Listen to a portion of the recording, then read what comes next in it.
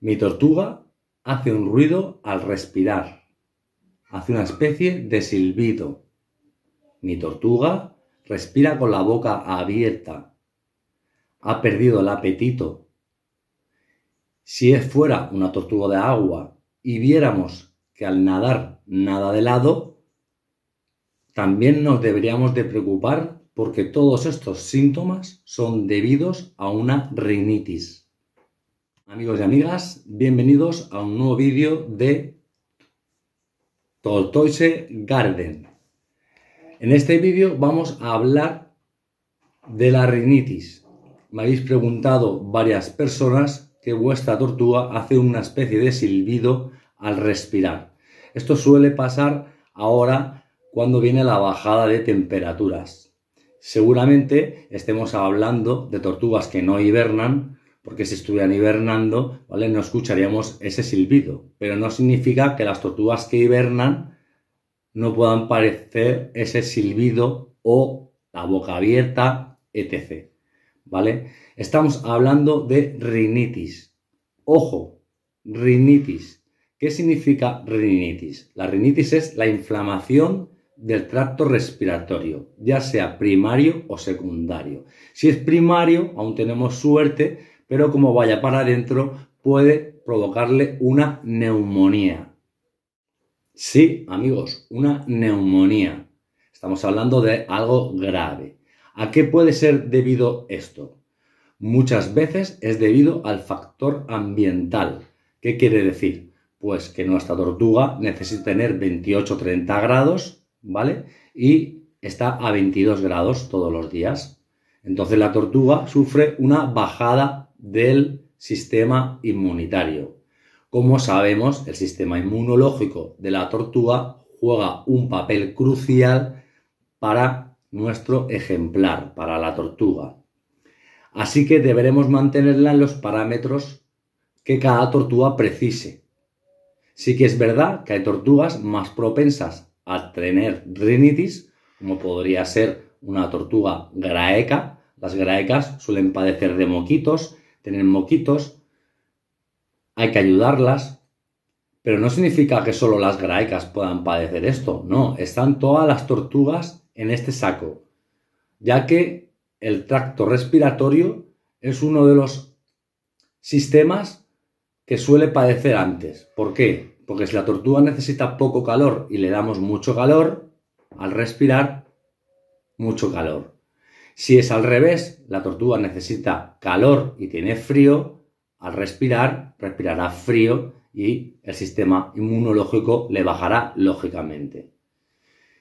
La humedad también juega un papel crucial en la rinitis. La humedad, ya que por ejemplo las testudograeca son tortugas de una humedad relativamente baja, por no decir un 50%, ¿vale? Vamos a dejarlo ahí. Como por ejemplo las sulcatas, la sulcatas también de un 50 a un 60%. ¿Qué quiere decir? Que si a una tortuga sulcata adulta le estuviésemos todos los días a 80% de humedad, le causaríamos problemas en el tracto respiratorio. Esto le podría derivar a una rinitis y esta rinitis a una neumonía. Así que aconsejo llevar al veterinario que le haga el tratamiento oportuno. ¿Cuál suele ser el tratamiento de la rinitis? El tratamiento de la rinitis suele ser nebulizaciones, ¿vale? Ya sea con o sin medicamento. Eso el veterinario lo decidirá, ¿vale? Dependiendo de la gravedad que esté. Una cosa es que escuchemos silbidos al respirar y otra cosa es que escuchemos silbidos al respirar, la tortuga no coma, no se mueva, pero ni de día ni de noche ¿vale? Entonces ahí tenemos un problema grave. Ahí el veterinario ya tendrá que administrar antibiótico vía nasal, nebulizaciones y seguramente inyectarle antibiótico. El tipo de antibiótico lo decidirá el veterinario, ya sea tilosena o enroflosacina. La rinitis también puede ser debida por una falta de limpieza. ¿Vale? Falta de limpieza del terrario, del recinto, del plato de la comida, del plato del agua, ¿vale? No quiere decir que por eso le vaya a venir la rinitis. No, pero a lo mejor la tortuga tiene un sistema inmunológico bajo y solo le falta cualquier bacteria y o virus para que la rinitis se manifieste. Así que si tu tortuga respira con la boca abierta, tiene silbidos cuando nada nada de lado, significa que cuando nada de lado, como tienen rinitis, el aire no le entra igual y entonces tiene un pulmón descompensado. Y si tu tortuga es de agua y nada de lado, posiblemente tenga una neumonía o rinitis, una neumonía en el peor de los casos, ¿vale? Porque todo puede derivar a la muerte del ejemplar.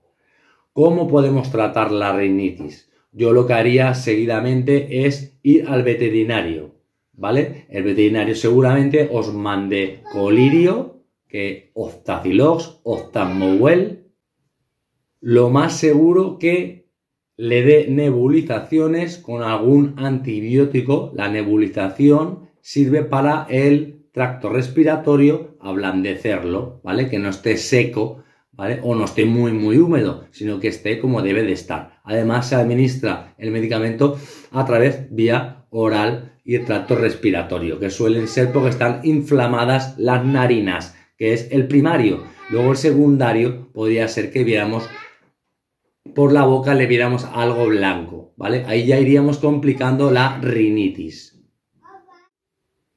Así que si escuchas o notas o ves algo al respirar raro a tu amiga la tortuga o tortugo, me da igual, ¿vale?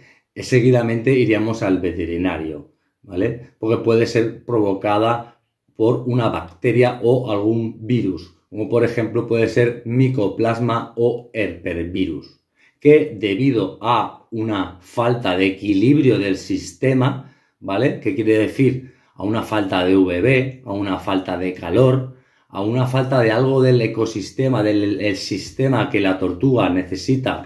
Tortuga, y quien dice tortuga, hablamos de cualquier reptil, ¿vale?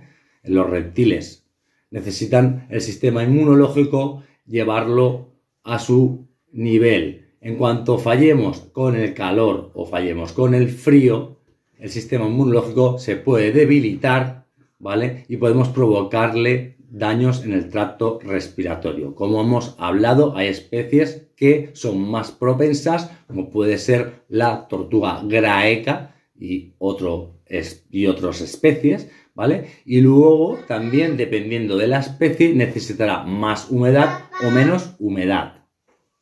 Así que, como hemos comentado, dependiendo de qué especie, por ejemplo, una tortuga terrapene, Carolina tringuis, ornata, me da igual, su humedad debe ser superior al 60%. Por ejemplo, una humedad de una rhinoclemis también debería ser superior al 60%. Una humedad de una tortuga morrocoy también debe ser superior al 60%. En cuanto fallemos en esa humedad, a esa tortuga morrocoy le estaremos provocando fallos en su sistema respiratorio. Creo que me estoy enrollando bastante, pero quiero que quede claro que no porque tenga rinitis es culpa tuya. No, a lo mejor la tortuga tiene el sistema inmunológico bajo, ¿vale? Y ha fallado en algún parámetro y la tortuga le tocaba y le tocaba, ¿vale? Pero normalmente suele ser, claro, un fallo humano, porque como tenemos tortugas que no tocan en sitios que no tocan, yo el primero, ¿vale? Tengo una tortuga morrocoy, la cual tengo que mantener una humedad en el terrario. ¿Cómo? Vamos a verlo. Aquí tenemos a mi tortuga morrocoy. Y como estáis viendo, ¿qué he hecho? Plantar césped. Tiene una planta de cinta, ¿vale? Luego tiene por aquí todo esto, no es una jaula, esto es metraquilato. Está toda la jaula forrada de metraquilato, como si de un terrario se tratase, ¿vale? ¿Para qué? Para encerrar la humedad ambiental que le procede de el césped del sustrato adecuado que hay que ponerle a cada especie. No será la humedad la misma de una tortuga morrocoy, ¿vale? Que la humedad de una tortuga graeca, ¿vale? Ahí es donde podemos fallar en el sistema del tracto respiratorio. Por ejemplo, fijaros qué recipiente tan grande en comparación a la tortuga.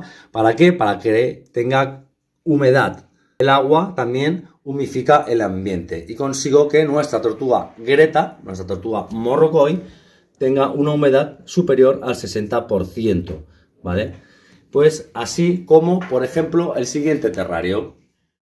Aquí tenemos un terrario, ¿vale? El cual no es muy grande, pero fijaros, está lleno de césped, ¿vale? Tenemos plantas de cinta, tenemos cuevas, las cuales ellas están prácticamente el día encerradas ahí. Esta tortuga es la tortuga dragón o Rhinoclemis pulcherrima, me da igual mani, incisa, cual sea, ¿vale? También debe tener una humedad superior al 60%. ¿Qué hacemos? Tener un sustrato adecuado y plantarle césped, como estáis viendo. Tenemos césped, plantas, cinta y una vez al día podemos pulverizar, ¿vale? Lo que es el terrario para que tengan la humedad adecuada o tener un humificador es lo recomendable. Aquí venimos al siguiente terrario que como veis también tiene un sustrato, adecuado, es fibra de coco, lo único que está tardando más en salir el césped, pero ya empieza a verse los brotes del césped, tiene una planta de cinta y todo esto parece que no, está forrado también todo de metraquilato y todo esto parece que no, pero le proporciona una humedad ambiental adecuada. ¿A quién? A esta tortuga, a una tortuga Rhinoclemis, que necesita una humedad superior al 60%.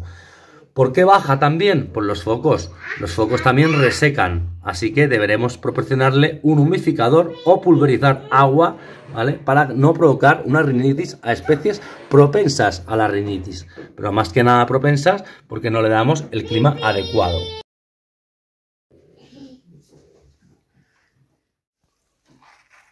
Aquí tenemos a dos especies de Astrochelis radiata, las cuales sabemos que también es la humedad es superior al 60%. ¿Qué hacemos? Pues plantarle césped con un sustrato adecuado. Una mezcla de turba rubia, fibra de coco y perlita, que son las bolitas blancas que se ven por ahí. ¿Vale? A no ser que viéramos que nuestra tortuga se infla a comerlas, en teoría no son malas, no, no son perjudiciales. Aquí como vemos también tiene su planta de cinta plantada y un buen recipiente de agua el cual ¿vale? le proporcione humedad. Bueno, una vez visto algunos trocitos de nuestros terrarios, entonces comprenderemos el enriquecimiento ambiental hasta dónde puede llevar en el sistema inmunológico de nuestra tortuga. Tanto sea en tamaño el recinto, que no quede pequeño, como en enriquecimiento ambiental, porque le podemos dar un terrario súper grande, ¿vale? Y con un periódico ahí tirado, ¿vale? Y si la tortuga necesita humedad, lógicamente con un pulverizador no se la vamos a lograr teniendo un periódico. Es un 1 más 1 es 2, al igual que 1 menos 1 es 0. ¿Qué quiere decir? Que entre más aportemos al terrario de nuestra tortuga, entre más grande pueda ser mejor y que tenga los parámetros adecuados. Así que si o escuchamos o vemos el silbido, ¿vale? Porque podemos ver la boca abierta, como hemos comentado, ¿vale? Eso ya sería un estado un poco más grave que el de los silbidos, el de la boca abierta. Yo recomiendo ir al veterinario seguidamente antes de ir al veterinario, administrarle colirio por vía nasal dos veces diarias. Antes de ir al veterinario, quiero decir, tú ves eso, llamas al veterinario, pero si tienes colirio, ya le puedes poner, porque el veterinario es lo que te va a mandar. Te va a poner colirio, nebulizaciones y antibiótico, como enrofloxacina y tilosena. Así que, amigos y amigas, hasta la próxima.